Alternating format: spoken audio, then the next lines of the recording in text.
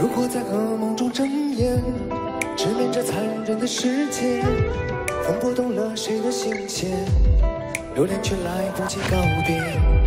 如果结局几成惨烈，无惧在逆风中破茧，就算那羽翼被撕裂，重回到时钟身边，牵你手往前走，黑夜白昼不停留。辗转时空会挫伤，会心痛，依然奋勇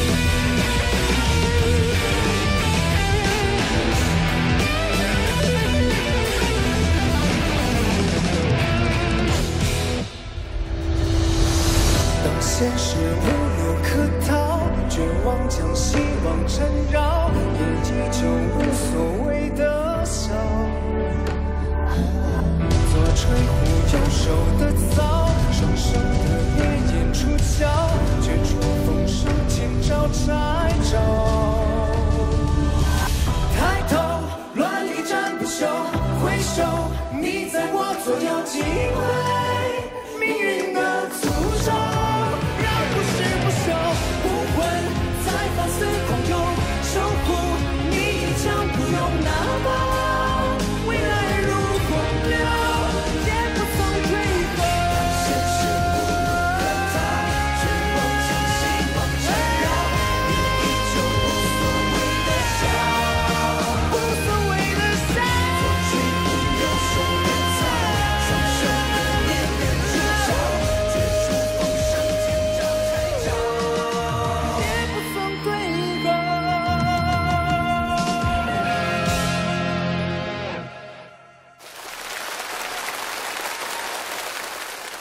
王牌自护卓瑞不凡，飞鹤星飞帆卓瑞含乳铁蛋白和十倍益生菌，给宝宝王牌自护力。接下来进入飞鹤奶粉王牌卓瑞自护时刻。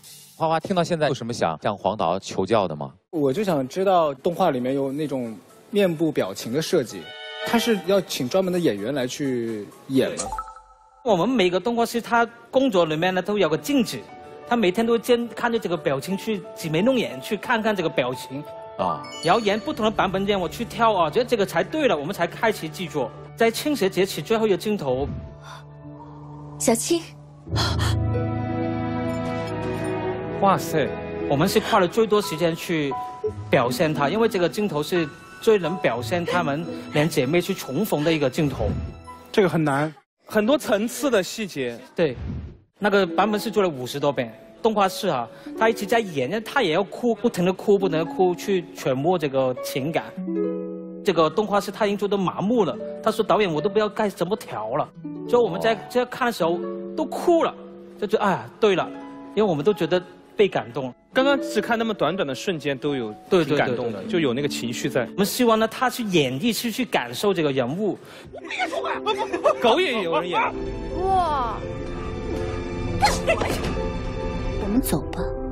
哇右上角就是我们两位动画师去先演出来，他做出来才会让观众觉得这个角色是真实的。嗯，我们可以看到，在动画制作当中啊，不仅画面很重要，声音和表情也很重要。那接下来这个环节呢，就要考验你们对于声音的运用。让我们进入下一环节，绘声绘色。这个环节绘声绘色，我们就考验一下大家专业配音一些基本的功底。我们要特别邀请到了另外一位专业的配音导演，行业王牌，来给大家呢进行一下现场指导。vivo 王牌时刻，让我们欢迎著名的配音导演姜广涛老师，欢迎！欢迎。实力见证王牌，时刻记录精彩。vivo 王牌时刻，大家好。欢迎。姜广涛，著名的配音演员、配音导演，入行二十八年，先后参与了多部经典动画、影视作品的配音。痛苦有时候是好东西。同时，还担任诸多影视动画的配音总导演，给观众带来数百部脍炙人口的经典影视动画作品。你怎么知道你身体还好啊？大家好，我是配音演员姜广涛。姜老师，先来帮我们讲述讲述，您觉得这个动画片配音？和平常的配音它有什么不一样？有什么特点吗？其实这两个区别非常的大。我们这动画最重要的一个就是台词，通过台词你要脑补出来这个人物的表情动作，以声音的形式呈现出来。画师呢再根据这个声音再来这个调整节奏啊，而且往往这个环节还不止一次。我们最后这叫中配，中配结束之后，啊，动画导演拿着这个片子再回去，再让画师把他的所有的口型都给吻合上。所以这个是一个交替进行的这么一个过程。这样，今天姜老师来到了我们节目现场啊，您能不能给我们展现一下？比如说，我很喜欢看《王牌对王牌》，我用不同的人物身份啊，年龄段也行啊，状态也行，嗯，配出不同的感觉来。来一个文质彬彬的书生说了这句话。书生，呃，书生的话一般感觉像古装戏啊。嗯。啊，在下平日除了读书以外。就喜欢看看综艺，《王牌对王牌》是我最喜欢的。都有画面的感觉了，很熟悉，感觉好帅呀！老师，如果你看到我们这种形象的演员，肯定给我们配的声音都是那种。老师，我想看你，你按照他刚刚的表演塑造的形象，你给他配个属于他的声音。哇，在下特，如果我是这种在下特别喜欢看《王牌对王牌》，对，哎，这种人就。有点那种魂不吝的那种感觉，魂不吝，有点像小痞子。对对对对对，在下特别喜欢看《王牌对王牌》。对了，就是这个，我舒服多了。我我们也我们也舒服了，找到了定位。我们再给姜老师增加难度啊！这现现在进行就是老爷爷，老爷爷特别爱看我们节目，老大爷撒气漏风一点。哎呀，我这个。哎，我这没事啊，就喜欢看个电视。这个每次啊，我都要看这个《王牌对王牌》，不光我看，我老伴儿也喜欢看。哎呦，那那老太太会配吗？老太太用腾哥的脸配老太太，让老太太配老太太的声音。老太太，我特别喜欢看《王牌对王》。我 的天哪！绝了！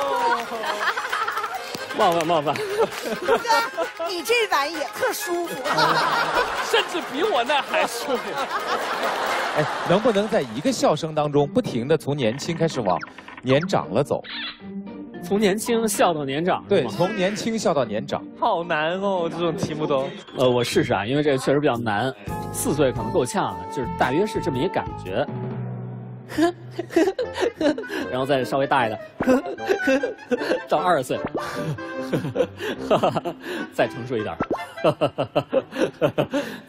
然后等到稍微苍老一点，再苍老就是，可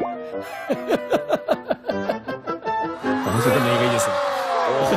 再苍老就是。